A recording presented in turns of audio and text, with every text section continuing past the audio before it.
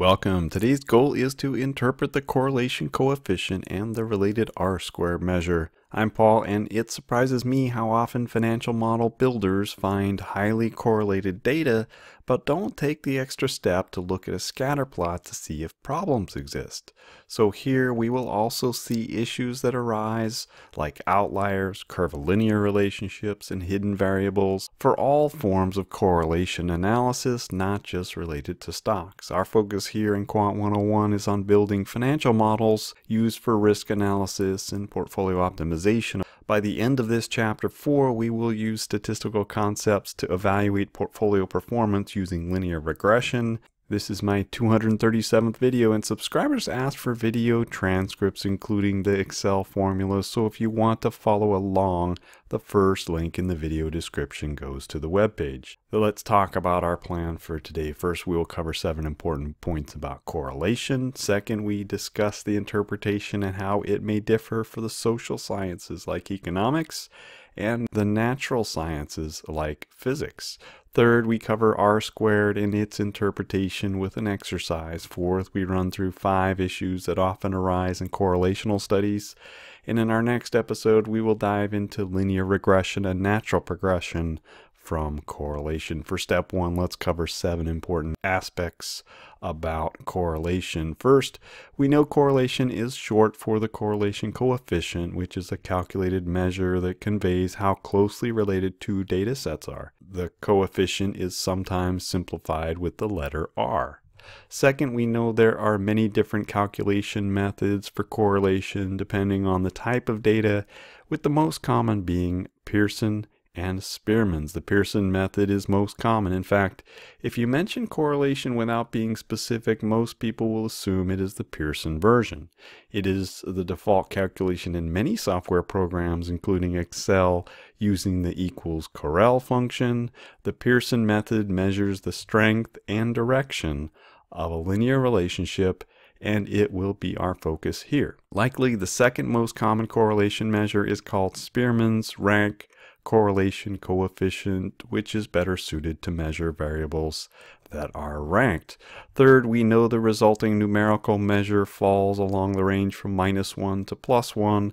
The endpoints represent a very strong or tight linear relationship between two variables. Those in the middle, around 0, represent no linear relationship.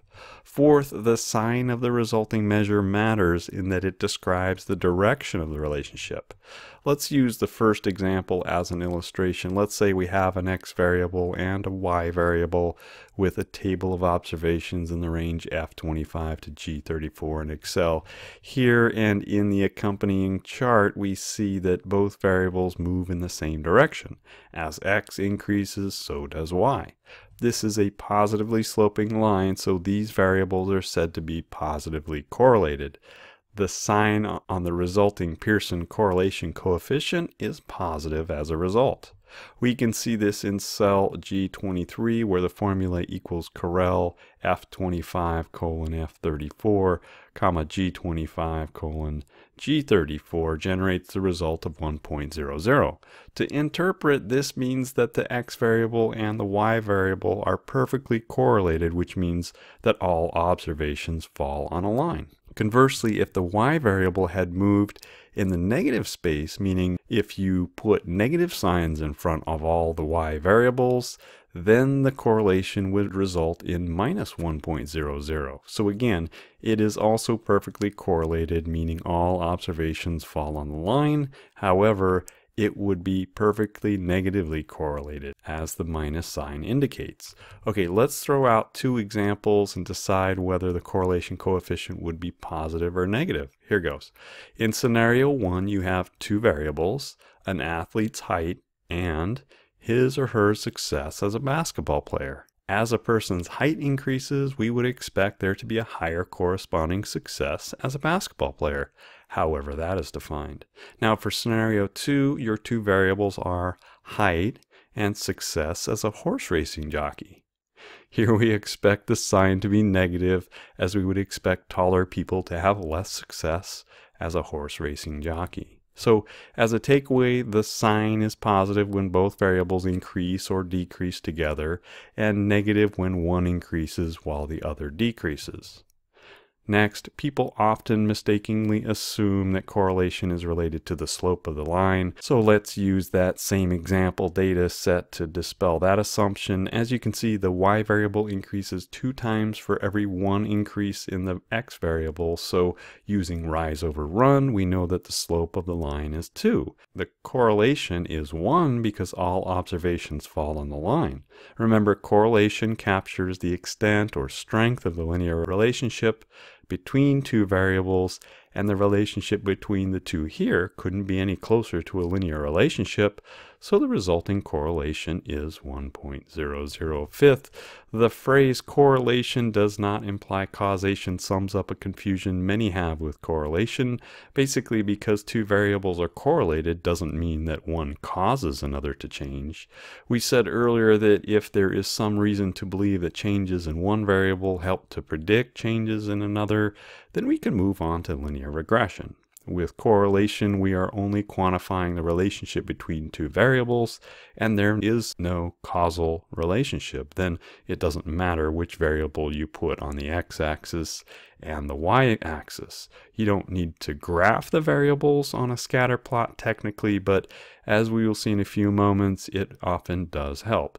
To prove that it doesn't matter which variable is x and which is y, let's go to cell E25 and input the y variable first where the x variable normally goes. So the formula would read equals Correl G25 to G34, comma, F25 to F34 and the correlation should match at 1.00. Again, a caveat about the word causal in the social sciences like economics, we don't truly know if there is a cause and effect relationship between variables. So we are cautious about using that term, you know, couch it on all the appropriate disclaimers, but at the same time, we need a word, so you typically see causal when referring to regression. Next, for visualization, while we could simply use an Excel function like equals Correl or equals Pearson to generate the correlation coefficient in Go, it often helps to visualize the data on a scatter plot. Visualizing data is a good first step because it helps us spot errors and patterns in the data we will cover two additional scatter plots in examples 2 and 3 shortly when discussing issues that can potentially negate the results. Let's move on to step two and interpret correlation. Okay, we said earlier that the closer to the ends of the range represent a tight linear relationship, and this bar represents the whole range of correlations, and it includes descriptive names along the spectrum. It starts with very strong to strong, then moderate and weak to none, or no linear relationship in the center near zero. Notice how the terms are repeated in the positive space as well. I should note that interpretations differ for the natural sciences and the social sciences. The natural sciences, often called the hard sciences, include fields like biology, chemistry, materials, or sciences and physics.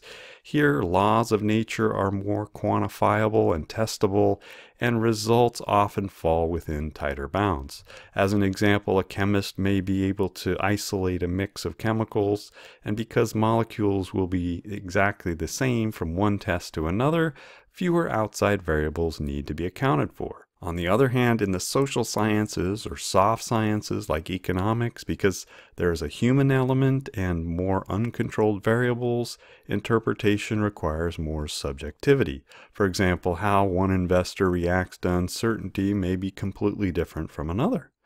As a result, interpretation differs. The descriptions shown here are more typical of those used in the social sciences.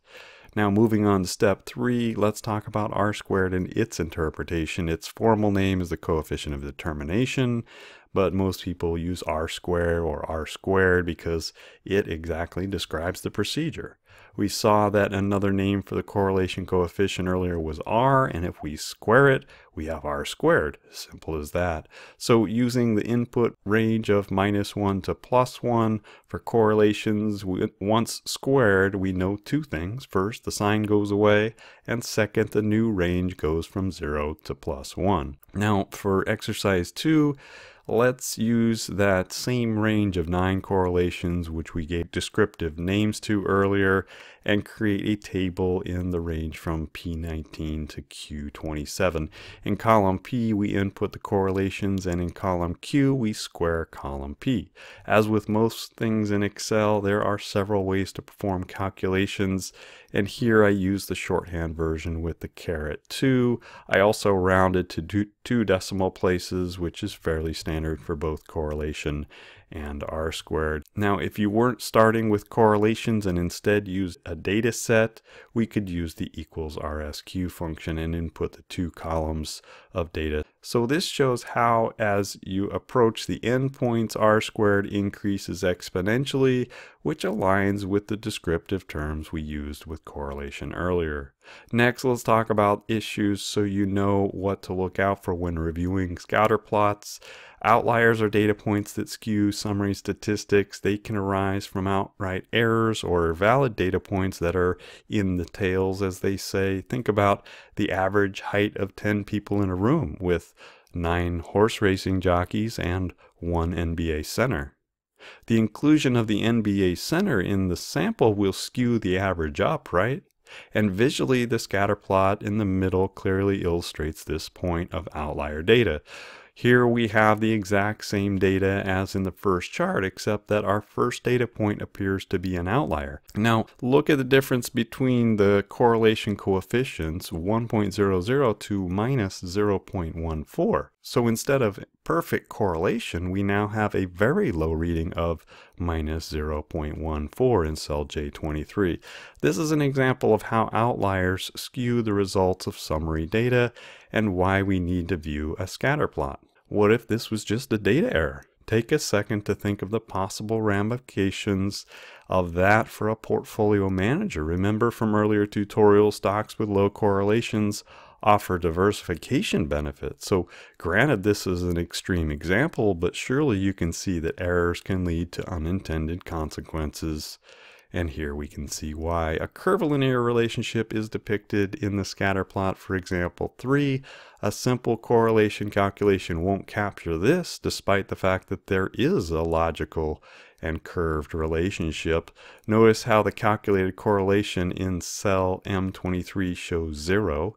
Imagine if this was built into one of the cells of our covariance matrix. To the naked eye, we can see that there was some type of relationship here, and we should really investigate the cause. Of course, the goal here is better analysis and sometimes curves better describe your data than lines do, and for this we need more advanced statistical measures found in a statistical programming language like SPSS, R, or Stata for example.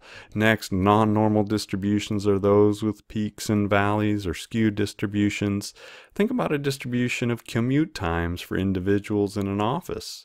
You can say three things about this. First, more people live closer to their workplace. Second, commute times are never below zero. And third, there are fewer occurrences of people who travel great distances. Next, hidden variables. The example we used for hidden variables in the previous tutorial was the relationship between high sales of umbrellas and traffic accidents. What was the missing variable? The amount of rainfall. The term spurious correlation refers to when there is a high correlation between variables, but the relationship is actually based on a third variable. We used the example before of the sale of cars and dishwashers. They demonstrate a high correlation, but are related to economic growth rather than to each other. So as you can see, a correlation figure may not be as meaningful as it appears. Now, by way of summary, we learned how to interpret a range of correlation coefficients plus the related R-squared measure. Visualizing the co-movements between variables is always a first step, helping to spot outliers or patterns in your data that may not be evident when reviewing numerical statistics alone. In the end, it all boils down to confidence and how confident we are in our estimates. So as we move forward, we will uncover statistical measures that quantify this so we have an automated way to increase the accuracy of our models. In the next episode, we will press on with linear regression in an attempt to predict or forecast a dependent variable given changes in an independent variable. This will be very similar to correlation, but will allow us to assign a variable to the x-axis and another to the y-axis. So stay tuned for that. If you were curious, the horse racing theme here was inspired by the recent running of the 144th Kentucky Derby. And that negatively sloping example earlier brings to mind a winning horse coming down the stretch in the Run for the Roses, manned by none other than Shaquille O'Neal. Now that's one outlier I would like to see. I'll leave you with that image. Feel free to join us anytime and have a nice day.